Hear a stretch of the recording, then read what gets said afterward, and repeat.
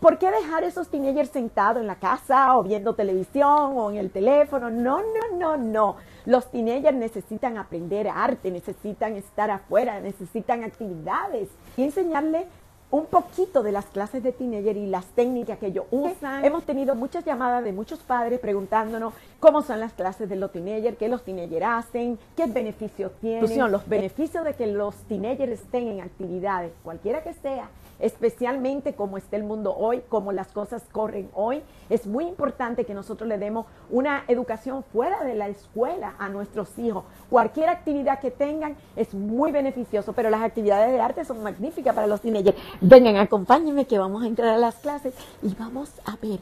Acuérdense que tenemos que entrar calladito porque están en clase. Vengan conmigo. Esto es óleo.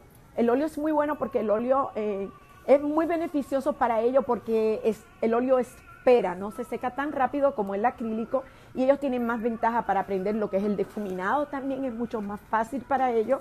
Ella está aprendiendo eh, lo que es la figura humana, lo que es el rostro en algo ya más bien abstracto.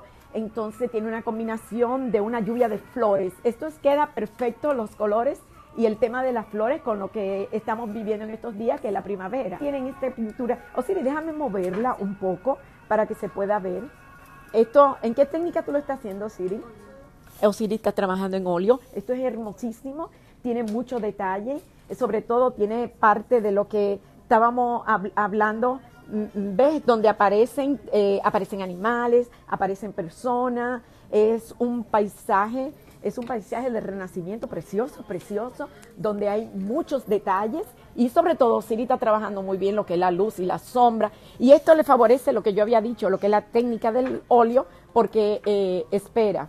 Vamos aquí a María de Lourdes. María de Lourdes está trabajando paisaje en acrílico con unos colores azules hermosos.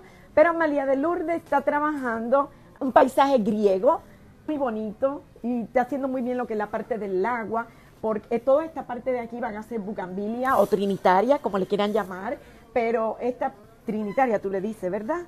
Eh, María de Lourdes Dominicana, entonces ya le dice Trinitaria. Eh, tenemos a mi Silvia y tenemos a mis Ana. Ellas están, no pueden hablar ahora porque están ocupadas, están planificando la semana que viene y están en discusiones del sketching, cómo va a ser, que ellas van a tener. Por eso no pueden hablar hoy, pero estamos planificando lo que son las clases del mes que viene de abril.